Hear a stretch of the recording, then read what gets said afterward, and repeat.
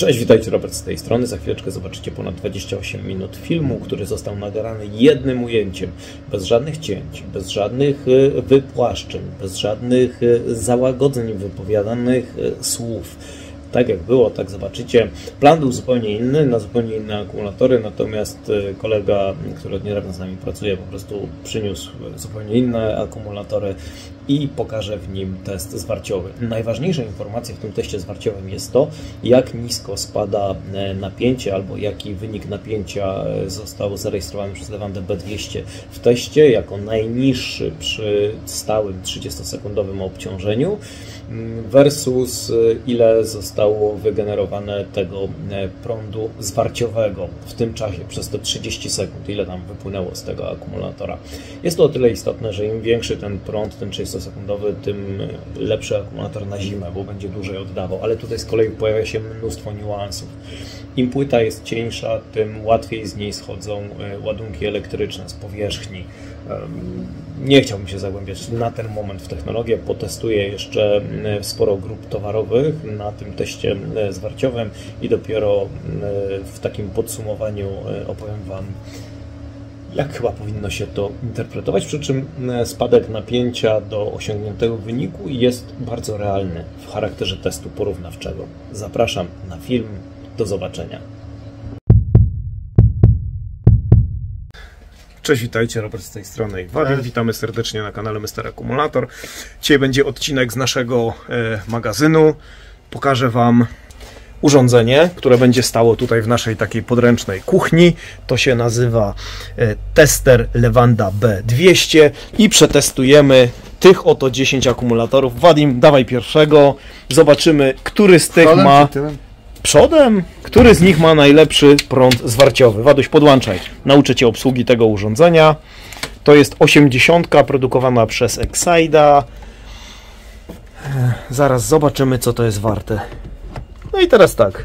Będziemy patrzeć, jaki jest spadek napięcia Wadim, jak nisko spada napięcie w stosunku do prądu zwarciowego. I teraz zobacz. Wciskamy Enter na teście. Pyta nas o napięcie. Wciskamy Enter.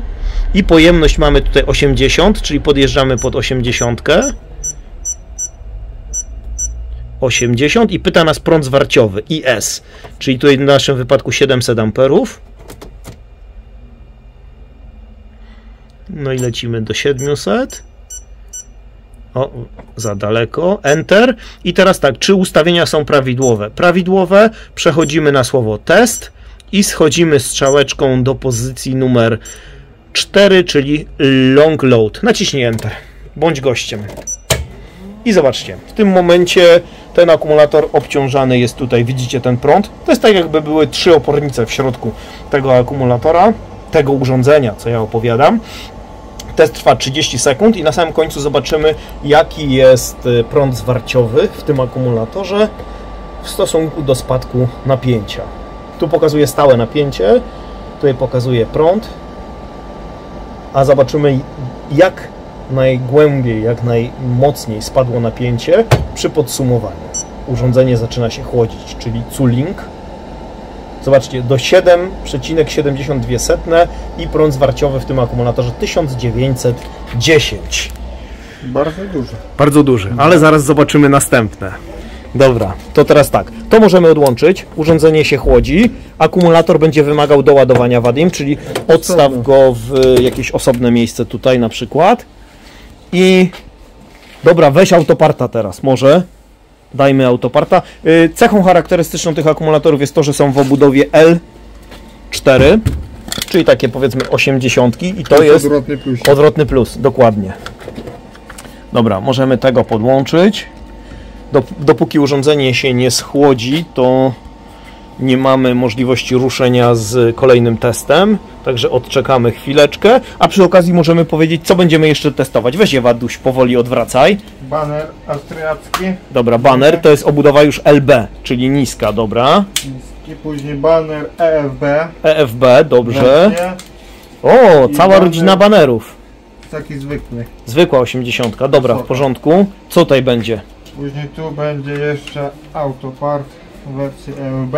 Autopart EFB, czyli to jest ta nasza R1 produkowana przez Autopart. Tu będzie podstawowa R1.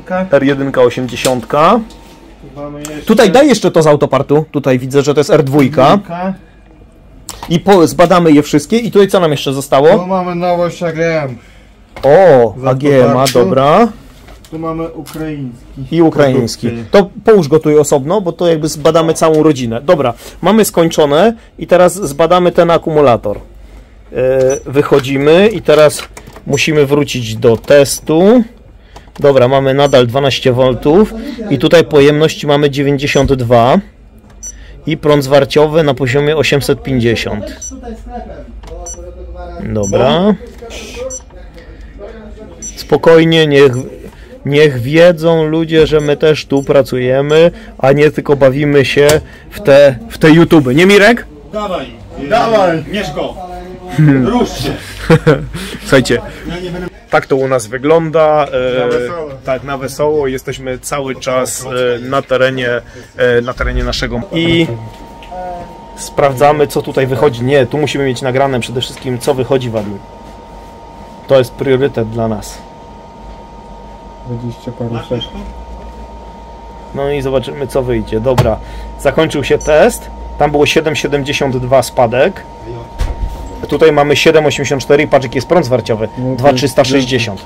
Tam Super. było 1000 coś. Tam było, no ale też było wysoko. Zaraz będziemy robić tabelkę, czyli mamy lidera na razie 2,360. Gdzieś ma pamięć, że zapisuje to wszystko? Nie.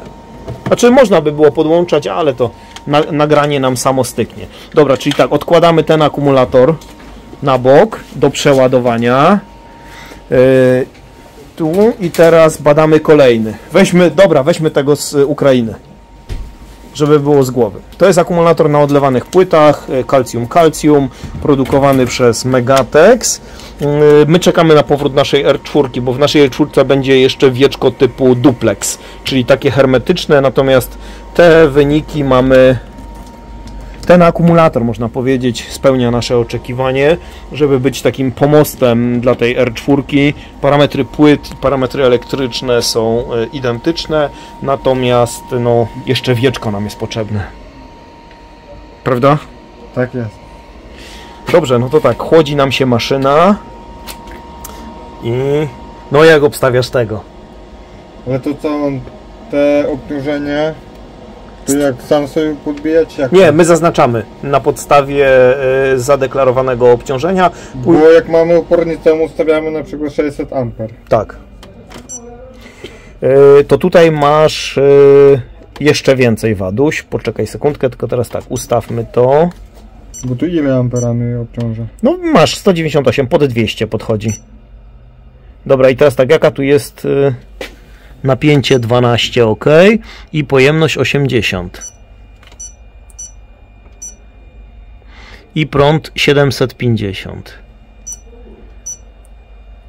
Bardziej on, tak naprawdę na to urządzenie Wadim trzeba patrzeć, jak na taką mocną opornicę, Mhm.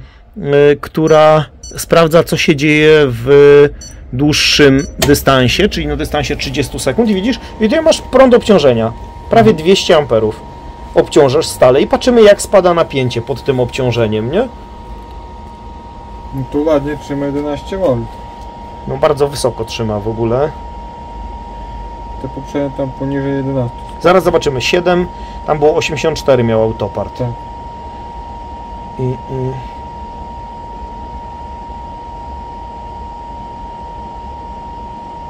No i za chwileczkę zobaczymy wynik. Urządzenie skończyło, teraz zaczyna się chłodzić, ale pokaże nam już wynik. I mamy 8,19, 2,310. Czyli jest im niższy spadek, tym pewnie większy tutaj będzie ten prąd zwarciowy. Dobra, możemy sobie to odkładać. Tutaj schowam to, te lokowania tych produktów. Tutaj czyjeś, y, widzicie, jesteśmy w kuchni, także tutaj kiełbaska czyjeś, jabłuszko, no coś tam jest. Także Wadim tutaj odkłada i my bierzemy, no lecimy zbądź banery, Prze, przeczepiemy. 80 baner. Mamy banera 80 e, i ja taką tabelkę dorobię, słuchajcie, do tego odcinka i będziecie tutaj widzieć ile co komu e, rośnie a ile co komu spada. Będzie tylko jeden AGM w tej próbie, bo tylko to mamy. Czy mamy jeszcze jakiegoś AGM-a w 80? Nie tylko tego. Tylko tego mamy, okej. To to słuchajcie, no teraz w kooperacji z Autopartem nam doszedł jeszcze taki akumulator. E, Autopart to ściąga od zaprzyjaźnionego e, producenta akumulatorów z Chin. Banera jeszcze AGM mamy. Mamy 80? Tak. No to bety. No to dajemy. Widzicie, dobrze, że tu Wadim jest. To coś on tu upoluje. O, mamy, jest i Running Bull. To AGM postaw tu obok. Sprawdzimy Wadim AGM osobno i połóż tego autopartowego. No i porównamy, który z nich miał lepsze parametry. A teraz lecimy z tą 80. E, I mamy tak, e, 80 12 V, e, 80 amperogodzin i prądu zwarciowego 700 e, nie w tą stronę. 760 robimy. I dane są ok. Test ok. Długi. I lecimy. Zaraz się dowiemy co my tutaj mamy, co reprezentuje sobą ten akumulator, czyli mm, 80 Ah, 760 A prądu rozruchowego według EN-ów. Ja mam nadzieję, że skończymy w miarę szybko, bo odczuwam pewną potrzebę pójścia tam, gdzie nawet król chadza piechotą. No i zobaczymy. No. Patrz, tutaj też trzyma ponad 11, Mhm. widzisz? Też. Bardzo ładnie. Ładnie. 2310 był najlepszy, czyli lekko mniej niż ukraiński, ale ładnie. To dwa, Też 8 V zobacz. tak, ale jest 20 amperów nieco mniej na prądzie zwarciowym. Dobra, to to idzie do przeładowania. Teraz weźmiemy akumulatorek EFB z austriackiego banera. Y, To oznacza, że już był przeładowywany. Dajemy sobie takimi flamastrami. Jaka tu jest data produkcji tego akumulatora? Y, DICD 2023 i to jest 30 e, bliskoroczny akumulator. Tutaj rzadziej chodzące. Pamiętaj, żeby to trafiło już teraz na ścianę płaczu. Czyli mamy I, B, C, D, E, F, G, H, I. 38 tydzień. Czyli mamy październik. No to roczny akumulator. Słuchajcie, to y, wyjątkowo. A, no już teraz rozumiem. Ściana płaczu. Czyli wszystko Nie wziął. ściana płacza jest dopilnowana. No tak, tak, dopilnowany, ale I trafię do kogoś to już tylko przez ścianę płaczu poproszę. Żeby nie było I, i tego wyniku to tak w porównaniu do pozostałych można brać tak, ty choć zamkniemy tutaj ten kosz, bo czasami go pokazujemy, żebyście nie widzieli co tam u nas jest, że mleko koło kosza stoi na zimnym, oj oj oj. Dobra, mamy skończone i teraz dobra, przechodzimy do ustawień. 12 V na pewno, amperogodzin ma ten akumulator 75 Tak. 730. i 730 prądu zwarciowego, w tym wypadku rozruchowego można powiedzieć. Dobra, i tu schodzimy w dół do long. No i dobra, i obciążamy ten akumulator. 1095. E, ładnie trzyma, też pod 11,99, odbija ku górze. Mhm. To się może okazać, że jest dobrze zadbany. O jest. 11 już skoczyłem. No.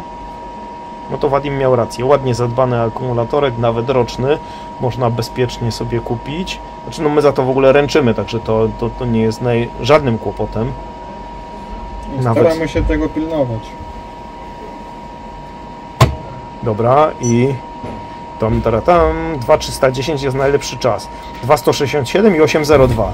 Ok, Jak na roczny bardzo dobrze. no spoko. Y, Do przeładowania. No i mamy ostatniego banera. To ja tam już badaliśmy takiego. Aha, tam był Tam P840. wysokie, a tu nic. Dobra, daj go. Czyli tam był profesjonal, a tu jest tak. Były profesjonal, no. A tu jest w niskiej obudowie, banner 80. No. Oni wiedzą, że jak dron tam tak pyska, to my tutaj ich słyszymy i cały świat ich słyszy. Daj im tam, Wa- Waduś, ty im zwróć uwagę. Nagrywamy to w jednym podejściu, żeby nie było tutaj żadnego fałszowania danych. Wadim idzie tam chłopaków o, opierniczyć. Dobra. Za chwileczkę skończy się chłodzenie I zaraz będziemy wiedzieć, zostało nam jeszcze 5 akumulatorów. No to ten odcinek będzie super długim odcinkiem, Wadim. To jeszcze nam zejdzie co najmniej z 10 minut, nie? Mi się nie śpieszy. No, ja też w robocie. Mogę tu do 17 No. siedzieć. No. Kończ się chłodzić. A, to jest z tyłu. O, tą kiełbaskę komuś podgrzewa. Czyje to? Prawdopodobnie Sebastiana. Sebastian? Takie ma? Tak. Jabłuszko, kiełbaska, jeszcze leki ma chlebek. A na co on ma te leki? A to nie będziemy pokazywać na co, bo wyjdzie, że na, na tą, na potencję, czy na coś tam. Nie, to takie do nosa. A. Dobra, i jest tak, tu mamy 80, a na Katar. E, I 700. 700, dobra, dane ok. Test. E, wróć. Dajemy w dół, na długi i poszło. No i zaraz się dowiemy, jak to wychodzi. Kurczę, i zatrzymał się ładnie, no 11.07 i odbija ku górze. Widzisz, to tak samo jak opornica. Ładnie trzyma. Bardzo ładnie trzyma. No i kluczową sprawą jest, żeby był jak najniższy spadek. No ale z drugiej strony tutaj już mamy CE. Y, B, C, D, E. No to tu już mamy y, o niebo. Rok młodszy akumulator. To jest bieżąca produkcja, dostawa. Dobrze i banerek ma banerek ma 2141 800, y, 8,2 V. Dobra. To mamy zrobiony test zwarciowy na tym banerku. No i teraz wchodzą nam e, pozostałe autoparty, czyli tak, akumulator R2, czyli tutaj, taki nasz budżetowy akumulator w kategoriach ceny, najtańszy w naszej firmie. E, Kiedy on został wyprodukowany? To jest e, czwarty tydzień 2004, 2024 roku. Podłącz Waduś te, o, tutaj. Czyli akumulator ma 9 miesięcy od daty wyprodukowania. O. I w tym wypadku proszę na poważnie brać wyniki tego akumulatora, bo do roku od produkcji w żaden sposób e, nie wstydzimy się, jesteśmy pewni tego, co, co robimy, no i nie zamierzamy, patrząc Wam prosto w oczy, mówię to, nie zamierzamy tutaj niczego ukrywać, także jeżeli, ta, mm, jeżeli wynik tutaj tego akumulatora wyjdzie słabo, to również biorę to na klatę, a Wadim dostanie opiernicz za to, że po prostu ten nie dopilnował tego. No dobra, chłodzi się, chłodzi się, za chwileczkę powinno przestać, jeszcze nam zostało e, cztery akumulatory oprócz tego i mam nadzieję, że zdążę do toalety. Dobra, Mogę cię podmienić chwilę. no, no nie wiadomo co byś nagadał ludziom i potem ja bym... A, ja bym potem musiał w to uwierzyć. Później dobra. I mamy 700, ty tak samo jak banner. Dokładnie te same parametry. Dobra, test. Długi i poszło. Dobra, to będziemy mieć od razu porównanie. 2310 miał najlepszy. Mhm. Który to był? To był ten, to był ten yy, yy, ukraiński, czy to był ten banner po nim? Mi się wydaje, że banner ELB chyba. Zaraz zobaczymy.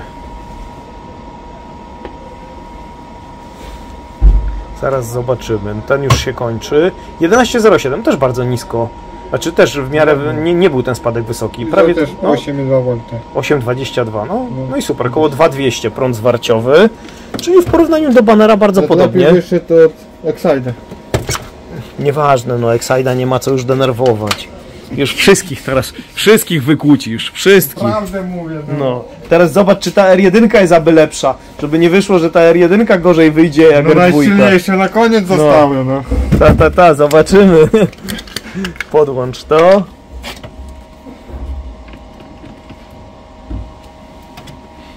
Jest Mieszko tutaj jeszcze? No zobaczę. Zawołaj go. Ile go...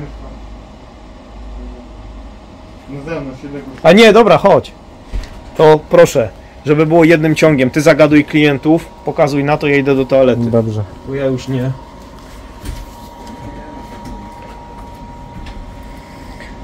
Dobrze, to jest R1. Data produkcji mamy 24 rok, 25 tydzień. Świeży akumulatorek mamy. Tutaj. No przewody to ciepłe mamy. Dobrze.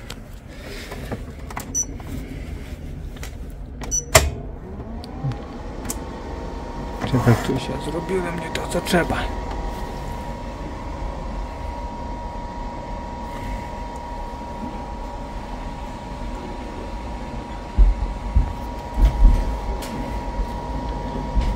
Dobrze. I co? Schłodził się? Tak. Już puściłeś? Tak. O, jak elegancko. Dobrze, że ty tu jesteś. No, już się nie mogę doczekać wyników. 80 Ah 700 A ruchu. Mhm. Tak jak R2. Mhm. No. 11-18, wysoko. Wysoko. Też O, ale niższy ten prąd zwarciowy. Mhm. Wyszedł tutaj na tym akumulatorze. Może przez to, że te płyty To masz, bo to jest lżejsze. Dobra, to ja to biorę, tak.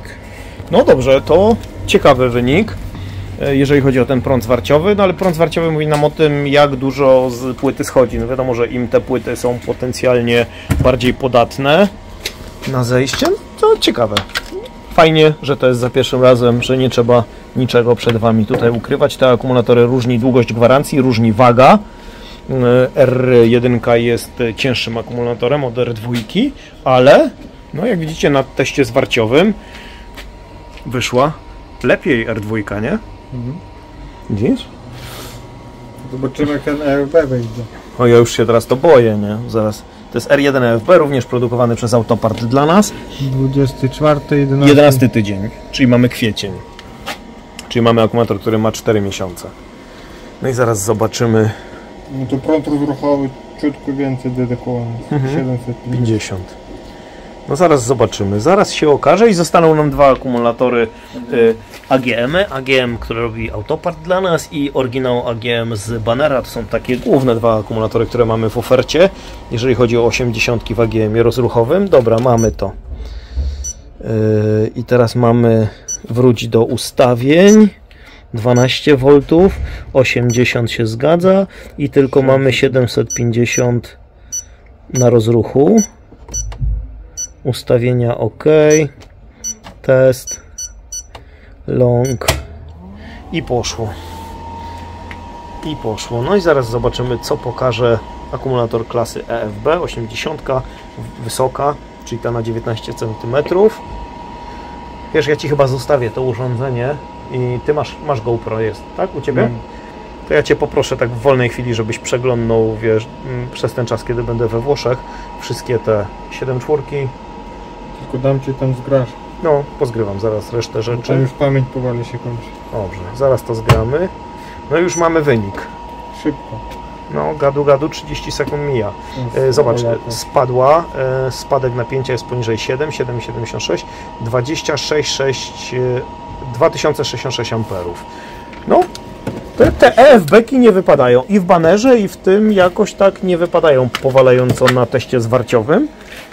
No i teraz tak, zbadamy najpierw, e, najpierw zbadamy tego auto, połóż go na górze, bo takie zdjęcie od razu ładne pstrykniemy do ten, do, e, wiesz do czego, na miniaturkę. To? Tak, lecimy z tym. No i zobaczymy teraz, czy AGM-y rozwalą towarzystwo, czy też nie. Bo wydaje się, że ten prąd zwarciowy, czyli zdolność do oddawania ładunku elektrycznego przez akumulator w AGM-ach jest, musi być o wiele lepsza ze względu na konstrukcję akumulatora, że tam nie ma polietylenowych e, mat oddzielających plusa od minusa, tylko są maty szklane wypełnione, takie włókna włókniste wypełnione m, elektrolitem. No i to by tak wskazywało, to, jaką tu mamy produkcję? E, dwa- 24, 02, 24. Czyli to mamy akumulator, który ma 5 miesięcy. E, I no, zaraz sprawdzimy, jak wygląda. Dobra. To lecimy od początku. Wrócamy do ustawień i mamy tak. 12 V jest, 80 jest, a prąd jest na Prąd 800. przekrywa. No to popraw. O dobra, już jest. 800. No i sam się nie mogę doczekać. Bardzo się nie mogę doczekać. Long. Długie obciążenie, long load. O, nawet nie drgnął za bardzo. 11-14 miał. Ładnie odbija ku górze. To jest no, w dużym skrócie opornica. No, po prostu liczy sobie mm, ilość prądu, mm, który jest w wyniku wyładowania tego akumulatora. Pewnie jakiś bocznik to zlicza, mnoży to razy jakieś tam napięcie, coś sobie tam wylicza, coś sobie tam przelicza, bo nie znam algorytmu działania tego urządzenia. Natomiast y, porównujemy stricte wynik na samym końcu. I tutaj co my tu mamy? 2384 najlepszy wynik na pewno, 811 spadek, to nie jest najlepszym wynikiem, e, czyli mamy 2384 nowy rekord e, i 811 nie jest rekordem. Czyli na razie, tak jak przypuszczałem, daj go tu na górę. No i, no i ostatni ananas. 11 akumulator w teście. Tu banner.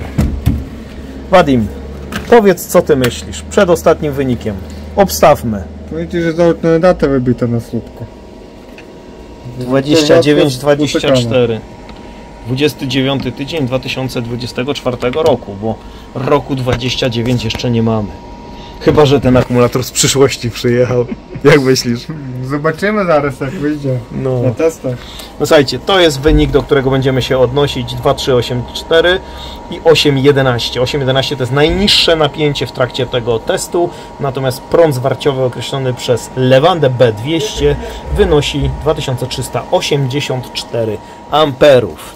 Już za sekundeczkę nastąpi ostatnie chłodzenie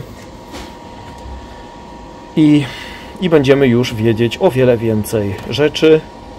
A ja przy wykorzystaniu papieru toaletowego jako podstawkę nagram za chwileczkę podsumowanie, co ja o tym myślę.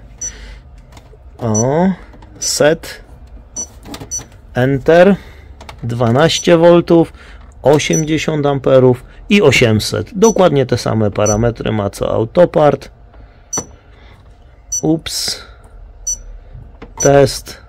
Schodzimy w dół. No i rusza. Słuchajcie, no ja obstawiam na coś w okolicach 1500. Yy, 2500. Oj, oj, oj, spadło niżej. Jakoś tu...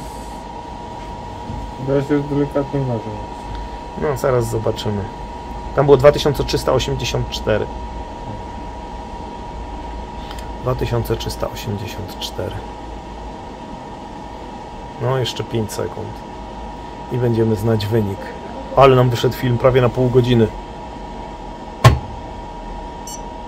Oj, oj, no i co tam nam To wychodzi? piszcie w komentarzach, co myślicie.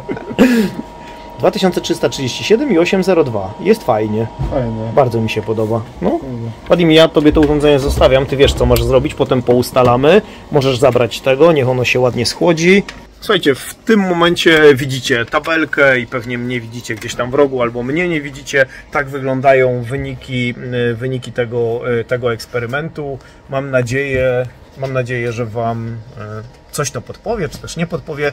Wszedłem do magazynu bez żadnego planu, wzięliśmy przypadkowy akumulator, nawet nie ja wybierałem, bo wybierał to Robert, który z nami tutaj współpracuje e, i poustawiał, poukładał. Nawet byłem przekonany, że będziemy testować akumulatory w obudowie L3, czyli takie 74, natomiast e, Robert stwierdził, że usłyszał L4 e, i, i w, ten, w taki oto sposób mamy test akumulatorów w obudowie L4 i LB4. Różnią się wysokością. Najniższy spadek napięcia widzicie tutaj, najwyższy spadek napięcia widzicie tutaj i najwyższy prąd e, zwarciowy w kategorii AGM-ów, no to wiadomo, natomiast w kategorii e, akumulatorów rozruchowych tutaj. Wam zostawiam wnioski, bo ja nie widzę całej tabeli, to Wy ją widzicie, ja dopiero zobaczę to w trakcie obrabiania. Pamiętajcie, jeżeli bylibyście kiedykolwiek w Szczecinie, to serdecznie zapraszamy. Gryfińska 106 to jest to miejsce, które, e, w którym jesteście bardzo mile e, widziani. O, Tutaj mm, znajduje się nasz taki mały, takie w zasadzie bardziej biuro obsługi klienta, e, kilka akumulatorów na wystawce. Tutaj znajdują się stanowiska do wymiany akumulatorów. Tutaj e, Także Gryfińska 106 to jest to miejsce, w którym jesteście zawsze bardzo mile widziani. Zapraszamy serdecznie. Jeżeli wyrazicie na taką chęć, możecie polajkować. Jeżeli będziecie na tyle szczodrzy i zasubskrybujecie, również będę bardzo wdzięczny. Pozdrawiam, trzymajcie się, cześć.